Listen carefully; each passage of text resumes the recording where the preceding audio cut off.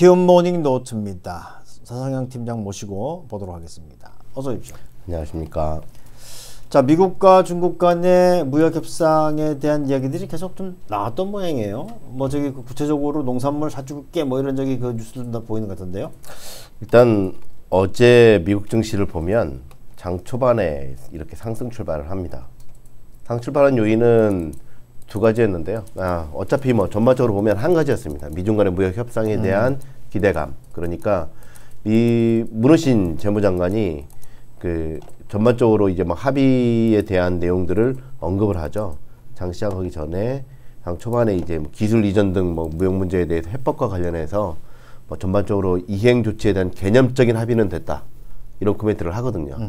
물론 이제 그 전에 경기 침체 우려 완화에 대한 뭐 그런 내용들도 언급을 했지만 무역 분쟁과 관련돼서는 그 내용이 주목됐다고 봐야 될 것 같고 두 번째는 뭐냐면 그 폴리티코 같은 미국 언론사 쪽에서 그 화웨이에 대한 규제를 완화시키고 그다음에 대두 수입을 좀 확대하는 그거를 이제 deal로 해가지고 합의를 볼 수 있는 거 아니냐 이런 코멘트들도 이런 보도도 나왔거든요. 어, 전반적으로 미중 간의 무역 협상에 대한 기대가 높아지면서 상승 출발을 합니다. 근데 이제 장 중반에 훅 빠졌다가 장 막판에 이제 다시 낙폭을 좀 축소했는데 낙폭 축소했던 요인은 여, 이 여기에서 이제 트럼프가 한마디 하죠. 아 조만간에 미중 미국의 주식시장 사상 최고치 경신할 거야 뭐 이런 식의 코멘트. 근데 과거 같으면 이게 훅 올라갔을 텐데 요즘에는 트럼프의 말빨이 떨어지죠. 오히려 무르신보다도 더 떨어집니다. 무디신 잘리겠는데? 아, 그럴 것 같습니다. 아무래도. 아무튼 여기서 이제 빠졌던 요인. 자, 여기서 봐야 될 게 좀 있습니다. 미국 증시에서 상승했던 종목들. 그러니까 JP모건이나 뱅크 오브 아메리카 금융주들. 그 다음에 ConocoPhillips나 EOG Resources 같은 에너지 업종, Schlumberger나 뭐 이런 Halliburton 같은 어, 원유 서비스 업종들. 그 외에도 보면 이렇게 L Brands라든지 어, Nordstrom이라든지 뭐 이런 쪽들, GM이나 포, 포드, 뭐 캐터필러나 3M. 제가 이제 뭐 말씀드리는 것들은 대부분 다 뭐냐면 미국과 중국 간의 무역 협상에 대한 기대가 높아질 때 올라가는 종목들인 거죠. 네, 그리고 반대로 빠진 종목들을 볼게요. 빠진 종목들을 보면 다 이쪽 소프트웨어 회사들, Intuit이라든지 뭐 이런 쪽들. 사실은 어저께 특징 중에 하나가 미국의 소프트웨어 회사들이 급락을 했어요. 음. 이게 최근 들어서 그 상장하는 상장했던 종목들 위주로 해서 많이 급락을 했고 좀 마이크로소프트가 빠진 것도 그 그쵸. 이제 그 내용들이 왜 그러냐면, 그러니까 소프트웨어 회사들이 최근 들어서 연초 대비 뭐 상장되고 나서 뭐 금방 한 두 배 이상 다 올랐어요. 왜 올랐냐면, 어, 전반적으로 경, 글로벌 성장도나 우려가 높아지고 있는데, 얘네들은 수익 속, 수익 개선 속도 자체가 상당히 빨라졌다. 그러면서 상당히 높은 밸류를 받았었거든요. 상당히 높고 그렇기 때문에 대체로 매수세가 많이 몰렸고 상승폭이 많이 컸습니다. 연초 대비를 보면 이렇게 카드 회사들 애플도 그렇지만 이렇게 얘네들 소프트웨어 회사들이나 이런 쪽들이 상당히 시장 자체를 좀 이끌었거든요. 근데 얘네들 상승했던 요인들이 방금 전에 말씀드렸던 수익 개선 속도 자체가 빨라졌던 거. 두 번째가 뭐냐면 미국과 중국 간의 무역 분쟁이 발생을 했을 때 피해를 안 보는 업종들 있잖아요. 이 소프트웨어 회사들 대부분 다 미국과 중국의 어, 중국 쪽의 매출이 별로 해당이 안 되는 애들. 그래서 겔- 그 회사들이 기본적으로 무역 분쟁과 관련돼 가지고 격화될 때 대안으로 삼았던 애들이었다는 거죠. 그러면서 걔네들이 상승폭이 컸었는데 그 위주로 해서 매물이 좋은 데로 많이 나왔고요. 보면 이렇게 페이팔, 페이팔, 마스터카드, 비자카드 이런 애들이 많이 빠졌는데 일단 걔네들도 많이 올랐어요. 음. 특히나 이제 페이팔 같은 경우는 무슨 일이 발생을 했냐면 대주주가 그한 3만 주를 팔았어요. 음. 3만 주 팔아봐야 그렇죠 한 30억 정도 되나 뭐 이 정도 되는데 대주주가 3만 주를 팔았어요. 그리고 나서 이제 이- 이게 빠진 거고 지난번에 8월 22일 날인가 그때도 한 3만 주를 또 팔았거든요. 음. 그래서 시장에서 무슨 생각을 갖고 있냐면 이 PayPal이나 이런 종목들이 많이 올라가다 보니까 어 대주주가 이걸 팔아? 회사 내부 작업한 거잖아요. 그러니까 이게 내부자가 팔았다는 소식이 들리면서 아 이거 value가 좀 문제가 좀 있다. 너무 많이 올랐다라고 생각을 하면서 매물이 출현된. PayPal의 market cap은 얼마예요? 얘가 보면 나오죠. 보통 Finviz를 딱 보면 그렇죠. 나옵니다. 여기에서 이렇게 나오죠. 마켓캡이 어 1250, 1250억 달러 정도 됩니다. 근데 달랑 그거, 그거 팔았다고? 그렇죠. 음.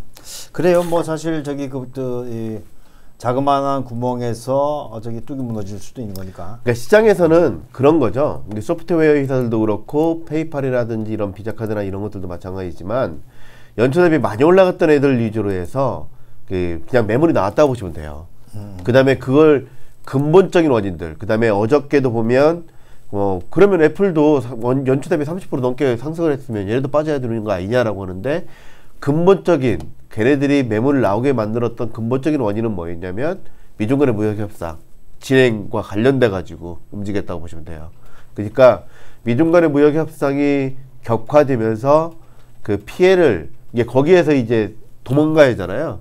그래서 이제 피해를 안 보는 쪽으로 매수가 많이 몰렸던 몰렸었는데 그러면서 걔네들이 급등을 했었거든요. 근데 최근 들어서 스몰딜에 대한 기대감이 상당히 높아졌고 뭐 무르신이 언급한 거라든지 뭐 이런 것들 보면 나쁘지 않은 거죠. 그렇기 때문에 시장은 뭐 상승에 따른 차익 매물이 좀 나왔다라고 보시면 돼요. 자 그리고 이제 그 ECB 통화정책회의 지금 내일 모레 있죠. 있- 있잖아요. 네. 어. 하죠? 시장에서는 지금 현재 금리 인하를 한 10bp 인하하는 거 생각을 하고 있는데 10bp 예. 완전히 마이크로 스텝이네. 그렇죠. 음. 근데 이제 시장 일부에서는 어 ECB가 우리가 생각했던 것보다도 덜 비둘기적으로 나올 수도 있다라는 코멘트들도 나와요. 그러니까 시기적으로 제가 볼 때는 그럴 것 같아요. 그 라가르드가 11월달에 그러니까 들어오니까 아니 그 저기 그 드라기가 해놓고 가면 라가르드 할 일이 없잖아요. 또 하면 되죠. 할 수 있는 여- 룸이 있나? 많죠. 룸 많아요? 네. 호텔입니까? 그러기 바랍니다. 그리고 이제 미국 증시에서의 특징 중에 하나가 뭐냐면 과거 같으면 이렇게 혼조세를 보이면 음. 거의 보합권 근처에서 많이 움직여야 그러니까요. 되거든요. 근데 보면 이걸 보시면 빠진 종목들은 뭐 한 3, 4%씩 다 빠졌고 올라간 종목들은 3, 4%씩 올라갔어요. 음. 예, 그 알파벳도 사실은 1% 넘게 상승을 하다가 그 반독점 관련된 내용이 나오면서 하락 전환을 했거든요. 그러니까 대체적으로 보면 개별 종목들 자체 내에서도 변동성이 커지고 있다. 이게 전체적으로 지수 자체로 보면 변동성이 그렇게 크지는 않지만 개별 종목 자체가 변동성이 커졌다는 뜻은 뭐냐면 시장이 지금 현재 우왕좌왕하고 있다는 거예요. 그러니까 미국 국채금리가 어저께 10비, 그 10년물 국채금리가 7bp, 8bp까지 급등할 요인이 없, 그렇게 많지가 않았거든요. 그럼에도 불구하고 그런 식의 움직임을 보인다는 뜻은 뭐냐면 최근 들어서 시장 참여자들, 이게 수급을 결정하는 시장 참여자들 입장에서는 미래에 대한 불확실성이 높아서 서로 막 왔다 갔다 그날 그날 대응을 하고 있다고 보시면 될 것 같아요. 그래서 어제도 보면 국채 국제유가 또한 2% 넘게 급등을 했는데 상승을 했는데 상승 요인은 별거 없었습니다. 사우디 에너지 장관 교체. 근데 사우디 에너지 장관이 어 감사를 좀 주장하라는 사우디 왕자가 그 에너지 장관으로 됐거든요. 네, 그러면서 그에 대한 기대 때문에 좀 올라갔고.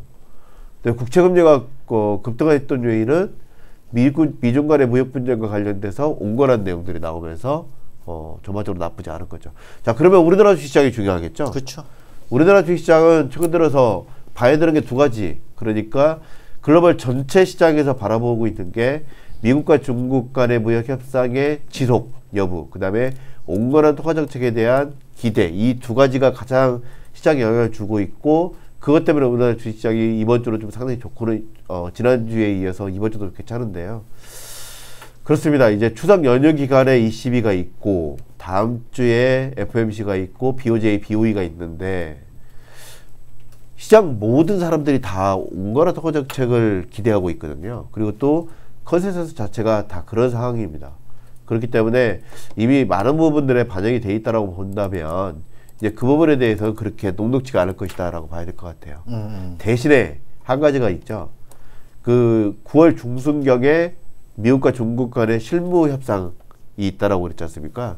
그래서 어, 이번 주 주말에 있을지 아니면 다음 주에 있을지는 좀 지켜봐야 될 것 같은데 음. 아마 다음 주 정도에 있을 것 같아요. 왜냐면 이번 주에 중추절이 있기 때문에 다음 주에 있다라면 그에 대한 기대감이 좀 유입될 수가 있고요.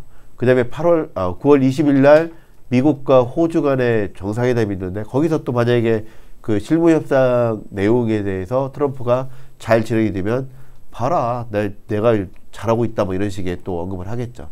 그렇기 때문에 어저께 오늘 새벽이죠. 트럼프가 미국 정치 사각치고치 조만간에 올라갈 거다 뭐 이런 발언을 한 이유도 그런 그런 것 때문에 기대감을 가질 수도 있다고 봐야 될것 국가 원수는 주식시장에 대해서 이야기 좀 안 했으면. 좋겠어요. 아, 우리 트럼프 대통령은 국가 원수가 아닙니다. 지구의 통치자입니다. 알겠습니다. 여기까지 모시도록 하죠. 고맙습니다. 감사합니다.